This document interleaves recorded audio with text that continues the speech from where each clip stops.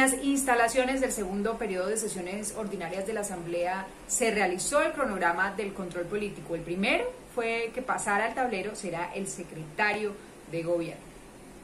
La mesa directiva de la Asamblea Departamental instaló el segundo periodo de sesiones ordinarias de la Asamblea, donde se iniciará un control político por la ola invernal que se está presentando en Arauca. Sí, el día primero de junio se instalaron el segundo periodo de sesiones ordinarias, eh, instalada por la doctora Erika Parales, gobernadora encargada y vimos la armonía que tienen todos los diputados para ayudar a dinamizar la economía del departamento de Arauca. En eso estamos preocupantes también la hora invernal y es preocupante por varias razones. La ley dice que los primeros que tienen que solucionar el problema de su territorio son los alcaldes, pero tenemos somos conocedores de que los alcaldes no tienen todos los recursos para tanta problemática. ¿Qué hace el departamento? Un complemento a los alcaldes. Pero si no agrupamos los recursos entre alcaldía y gobernación y hacemos un solo, un solo conjunto, pues yo creo que, cada quien estamos por su lado y no estamos priorizando las obras.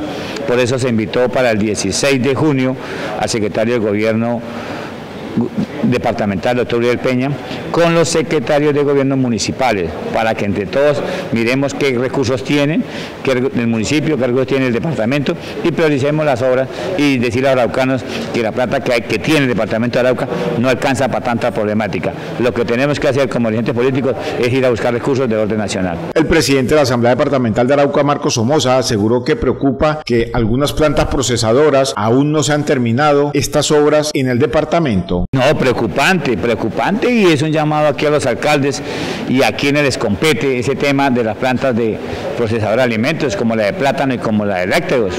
Ya llevamos, entramos a 18 meses de, de ese mandato ¿cierto? En el mes de junio, y, más años anteriores del otro mandato de esas plantas, y hasta el momento no sabemos cómo va, o sí sabemos, pero cada vez que hacemos una reunión nos dicen que vamos en esto, pero queremos en qué etapa va, cuándo se va, a solucionar, los necesitamos esas plantas ya, rápido, si es que necesitan más plata, aquí aprobamos la vez pasada unos recursos para el plátano, ¿qué, qué está pasando? ¿Es culpa del contratista? Busquemos, o sea, necesitamos que los secretarios, tanto los alcaldes y, y secretarios del gobierno departamental de agricultura, pues nos digan qué podemos ayudar.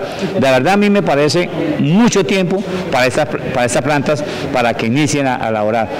Yo creo que esas dos plantas nos ayudan, Carlitos, ¿a qué? A, que a dinamizar la economía del departamento de Arauca. Pero venga, pongámonos ellos y digamos los araucanos cuándo la vamos a empezar a hacer. El líder político manifestó que por el paro nacional y cívico en Arauca ha aumentado la crisis económica en esta región del país. Sí, claro, pues según las noticias que me dijeron de, que me dio hoy por Caracol y RCN, pues se manifestaron que ya, ya, es, ya levantaron el taponamiento de las vías. Eso es un paso supremamente importante y que se reunían todos estos días con los gobiernos nacionales y la gente del paro a tomar decisiones.